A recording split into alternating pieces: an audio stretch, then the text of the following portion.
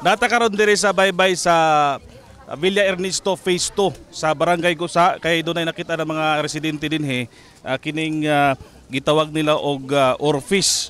Ang uh, kining uh, isda dili the first time no nga uh, nakitaan uh, last uh, two weeks ago naapoy nakitaan nga sama ni uh, uh, sama ni ini dito sa may Surigao area unya doon ay mga theory gani nga kung makitaan kung sama ni ini nga mga isda doon na kunoy katalagman nga moabot pero sama sa linog. Pero uh, kana uh, teorya lang o uh, wala pa scientific study gyud nga magpamatuod nga tinuod kana nga teorya. Sa Japan gitawag kini nga Ryugo no Chokai or messenger from the sea gods. Nasayrang dosi-dosi na nga susama nga isda ang nadiskubre sa Japanese fishermen sa wala pa mihapak ang 8.8 magnitude nga linog nitong March 2010 sa Chile.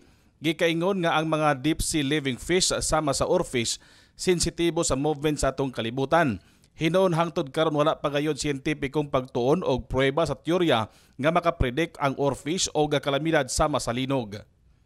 Alang sa dugang balita batasan na lang ang pagtutok sa Coop TV Channel 99 o i-like nga to nga Facebook page nga Coop TV o subscribe sa tong YouTube channel Coop TV Federation. Alang sa pinakauna nga broadcast media sa kooperatiba, kini si Rondi Alikaya. Daghang salamat.